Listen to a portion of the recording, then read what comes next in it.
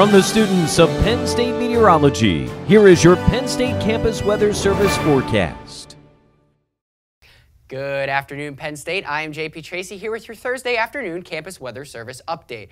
Saying hello to our friends down at PSU Altoona. It's a beautiful sunny day, 72 degrees there right now. Coming back closer to home here in Pine Grove Mills, it is 76 degrees. Still a beautiful sunny day across most of the state as we are under a ridge of high pressure. Taking a look at our current conditions here in the State College area, 76 degrees, dew point 67, so it is slightly muggy out there, but it is not too bad. A beautiful September day here. Visibility is 10 miles and the winds are calm.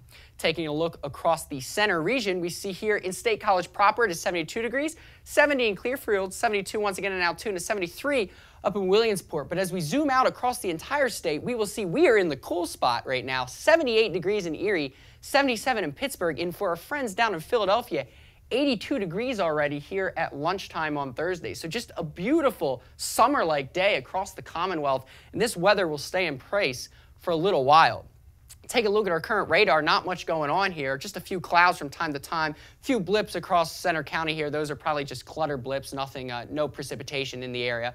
Um, again, though, dealing with a few clouds. And as we move and take a look off the Jersey Shore here, we see a few more clouds. This is actually blow off from what was once Hurricane Jose, now Tropical Storm Jose. And we see that tropical storm spinning right here uh, just off the East Coast. A few rain showers moving into the Martha's Vineyard area and the Cape of Massachusetts. Uh, we see more cloudy conditions in parts of Rhode Island, Connecticut, and then once again down the northern Jersey Shore. But most of these clouds will stay away from Pennsylvania for the time being. We also do have a major hurricane spinning in the Atlantic, the Caribbean, in fact. This is Hurricane Maria, which was once a powerful Category 5 storm, now a Category 3. It made landfall in Puerto, Puerto Rico as a Cat 4, uh, did a lot of devastation there, so our thoughts are with our friends in Puerto Rico as they start to recover from Hurricane Maria. Right now, the hurricane is just off the coast of the Dominican Republic as a Category 3 uh, with winds of 115 miles an hour and pressure down at 960 millibars. We expect it to continue to be a Category 3 as it starts to turn towards the north here. It will slowly weaken, weaken into a Category 2 and then a Category 1 as it starts to move away from the U.S. mainland. So we do not expect any direct impacts here in the United States from Hurricane Maria, but we could have some rough seas and strong rip currents along the beaches here, especially in the Outer Banks. So if you are going to be enjoying the beach this weekend, be aware of that. Taking a look back here in the Commonwealth, your future radar, once again, a few clouds here in the east, maybe a little bit of blow off from Tropical Storm Jose, but overall, just a beautiful uh, weekend here we're going to be getting into. As you can see, Friday, just a few clouds from time to time, but mostly sunny conditions across the Commonwealth, and that continues as we move into your weekend.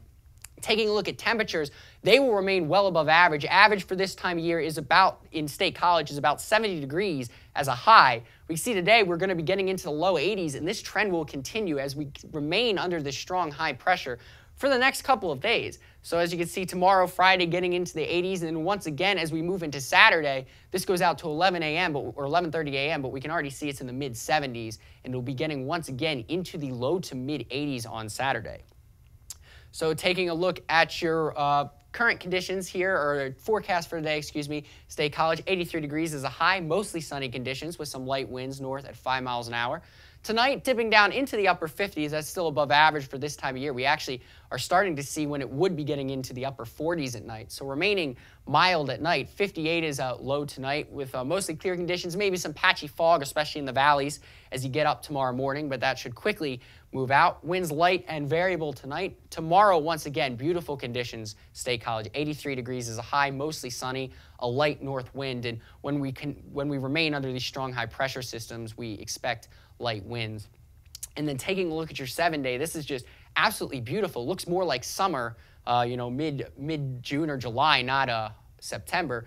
83 today and tomorrow. As we move into the weekend, which is a cannon week, canning weekend for Thon, it will be beautiful out. 84 degrees is a high on Saturday. 85 is a high on Sunday. Uh, the record temperature high on Sunday is 89 degrees, if I recall correctly. So we won't be approaching a record, but once again, beautiful conditions. You will not need a sweatshirt if you're canning this weekend, but you will definitely need the sunscreen. So remember to pack that. As we move into your work week next week, still remaining warm, 84 degrees on Monday, and then taking a look at the extended forecast.